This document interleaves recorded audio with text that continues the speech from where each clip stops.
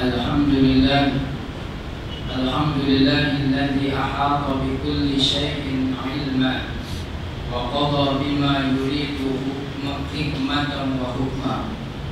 أنعم بنعم ابتلاء وامتحانا. وأشهد أن لا إله إلا الله وحده لا شريك له ذو الجلال والإكرام. وأشهد أن سيدنا محمدا عبده ورسوله. أفضل الأنام ومصباح الظلام اللهم صل على سيدنا محمد وعلى آله وصحبه وسلم تسليما كثيرا. أما بعد فيا أيها الناس اتقوا الله. اتقوا الله حيثما كنتم فإن الله يعلم سركم وعلانيتكم Sidang Jumat yang dirahmati Allah sekalian. Marilah kita mempertingkatkan iman dan takwa kita. Dan bergegas untuk mengamalkan apa yang diperintahkan Allah Dan hindarilah dari apa yang dilarangnya Semoga Semoga kita tergolong di kalangan hambanya yang berjaya di akhirat kelak nanti. Saudara Allah Subhanahu wa taala berfirman di dalam surah Asy-Syams. Ba'da a'udzu billahi minasyaitonir rajim. Bismillahirrahmanirrahim. Qad aflaha man zakkaha wa qad khaba man dassaha. Yang bermaksud sesungguhnya telah berjaya orang yang menyucikannya yaitu hatinya dan sungguh telah rugi orang yang mengotorinya. Ayat yang baru saya bacakan sebentar tadi merupakan peringatan Allah, merupakan peringatan daripada Allah Subhanahu wa taala kepada insan untuk mensucikan hatinya. Bahkan Allah Subhanahu wa taala menyifatkan mereka yang mengabaikan kesucian hatinya sebagai orang yang merugi. Namun saudaraku, apakah kepentingan menjaga penyucian hati? Apakah pula impak dan kesan bagi mereka yang leka terhadap kebersihan hati mereka? Perhatikan hadis Nabi Shallallahu Alaihi Wasallam yang bermaksud berwaspadalah. Sesungguhnya di dalam jasad terdapat segumpal daging.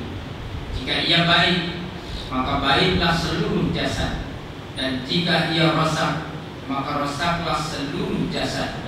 Ketahuilah yang dimaksudkan itu adalah hati. Hadis riwayat Imam Al-Bukhari dan Muslim.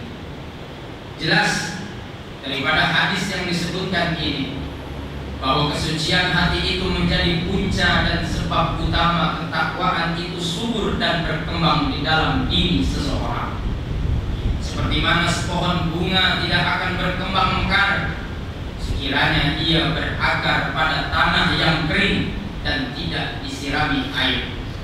Begitu juga ketakwaan tidak akan subur jika ia bercucuk tanam di dalam hati yang digelapi dengan kemungkaran dan tidak disinari dengan ilmu agama. Benar saudara, perihal hati dan ketakwaan merupakan rahasia seseorang hamba bersama Allah Subhanahu wa taala. Namun begitu, Rasulullah SAW telah menyatakan bahwasanya ketakwaan itu boleh dinilai melalui akhlak dan watak seseorang insan. Sabda baginda yang bermaksud orang-orang beriman yang paling sempurna imannya adalah yang paling baik akhlaknya di antara mereka. Hadis riwayat Imam At-Tirmizi. Subhanallah. Ternyata jelas bahwa akhlak dan perwatakan kita sebenarnya merupakan manifestasi dan cerminan iman yang menatap di dalam hati. Hubungan di antara akhlak dan iman melambangkan betapa Islam menitik beratkan kesucian hati seseorang Ia menjadi kayu ukur kedudukan seseorang di sisi Allah Subhanahu wa taala. Tatkala kita berdiri di hadapan Allah Subhanahu wa taala kelak yang dilihat dan dinilai yang esa adalah akhlak dan pribadi seorang mukmin dan bukanlah keindahan jasmani ataupun rupanya. Nabi Shallallahu Alaihi Wasallam bersabda, Inna Allah la yanzuru ila ajsadikum wala ila suwarikum walakin yanzuru ila qulubikum. Yang bermaksud sesungguhnya Allah tidak melihat kepada tubuh kamu dan tidak pula kepada wajah kamu tetapi dia melihat kepada hati kamu.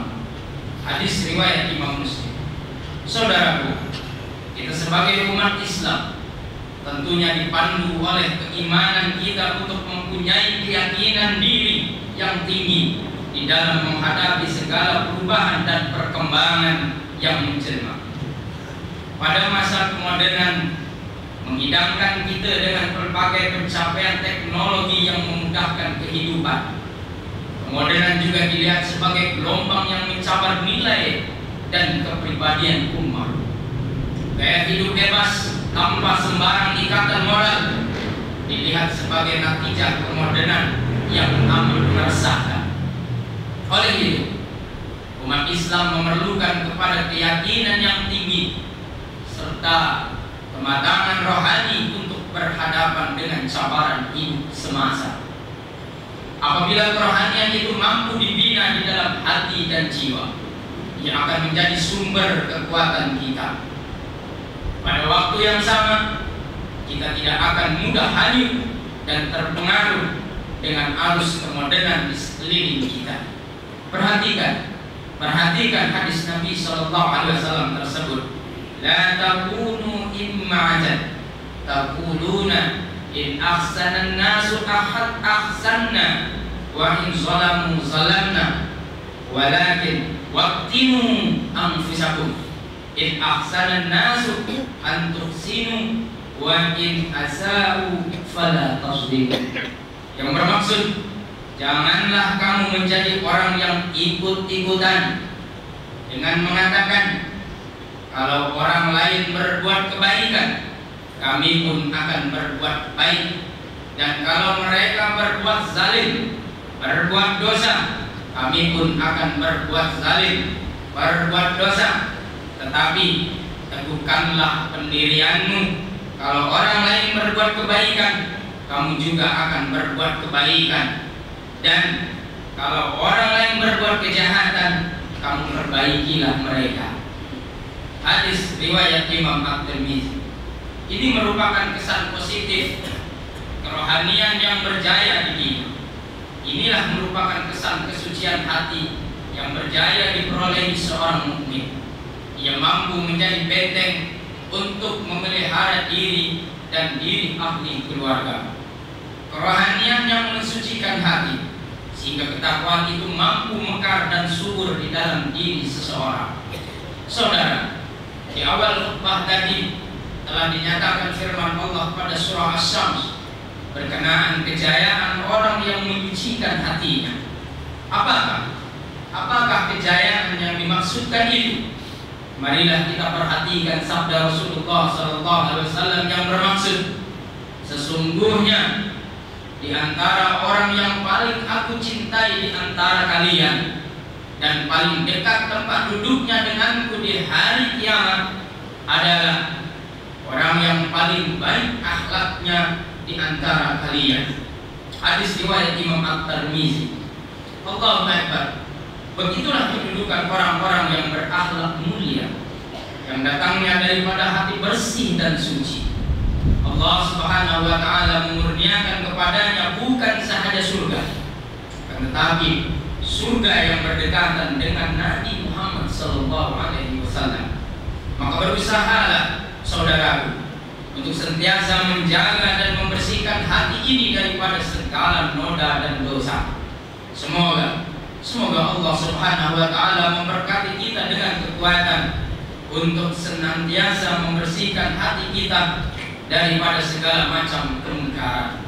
Semoga semoga dengan hati yang suci murni ini kita ditempatkan Allah Subhanahu wa taala di dalam surganya bersama junjungan mulia kita Rasulullah sallallahu alaihi.